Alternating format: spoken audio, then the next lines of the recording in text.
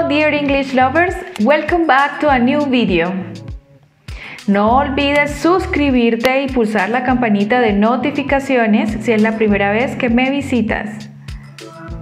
En el video de hoy vamos a hablar sobre un verbo muy común en inglés que es have.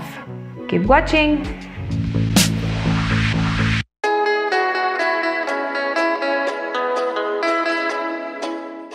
Have es uno de los verbos más usados en inglés y debes recordar que su significado es simplemente tener. ¿Cómo utilizarlo correctamente según el pronombre o según el sujeto? Recuerda que usamos have para sujetos como I, you, we, they, cuando, cuando son explícitos. Por eso yo digo I have a car.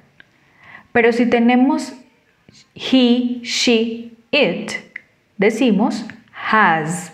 Por ejemplo, she has a car.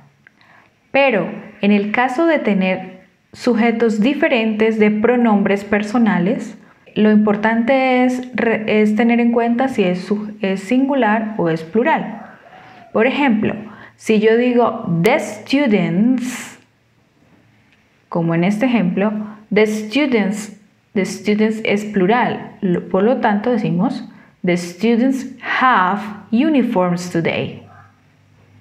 Pero si fuera un solo estudiante, a student o the student, we say the student has a uniform today. Para realizar las oraciones negativas, debemos tener en cuenta o debemos usar un auxiliar como lo vimos en otro video, do or does. En el caso de the students, al ser plural, usamos don't have. Pero al referirnos a the student, que es uno solo, decimos doesn't have. The student doesn't have a uniform today. Aunque utilicemos auxiliares, ten en cuenta que al ser negativo, en ambos casos usamos have. Y solo en la oración afirmativa hacemos la distinción entre has y have. Let's see other examples.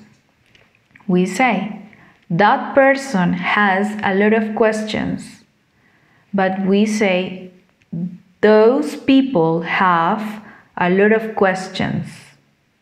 And in the negative, we say, that person doesn't have any questions. But those people don't have any questions. The same in the questions, with does and do.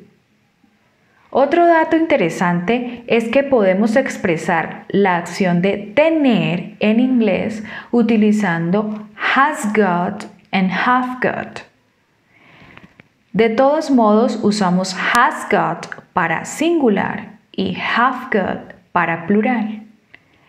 Y podemos encontrar también contracciones como I've got, you've got, they've got, we've got. For example, I've got a car o I have a car.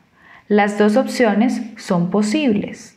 O por ejemplo, she's got a motorcycle.